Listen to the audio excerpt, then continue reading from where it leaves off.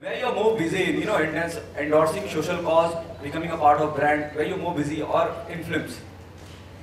Um, you know, I, I think uh, it's there's enough space within a person's life to be able to do many things.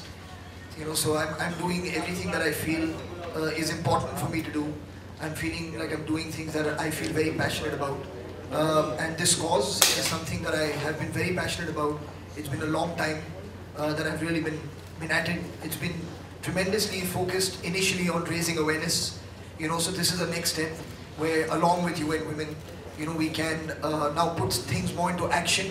The awareness will of course always continue because it is important as well. But how do you also action it now and how do you make, make a difference on, on the ground where sometimes it really, really matters. You know, so that's really where we are at right now. But I'm passionate about all these things. So when you really enjoy doing something and when uh, there is something for you to contribute, no matter how much, uh, how many hours in the day, you'll always find the time to be able to do it. Okay, as Gautam said, you know, there'll be a, there'll be a live show, you know, your music live concert will be good- going to happen somewhere in Thane. Don't you think there's, there's more need in the rural areas of India, for example, North India? Uh, well, we've been traveling. We've done over, I would say, about 65 or 70 concerts now.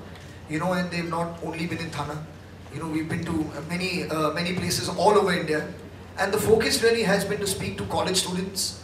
You know, the thing is, we go to college students, they're young boys, young girls. They are people who are going to be opinion makers tomorrow. They're going to be leaders in their field tomorrow.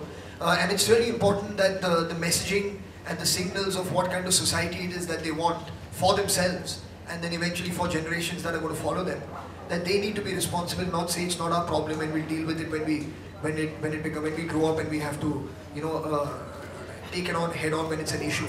You might as well start thinking about it now. So you create that society as you progress. So we have been doing that. So it's it's not uh, that that doesn't happen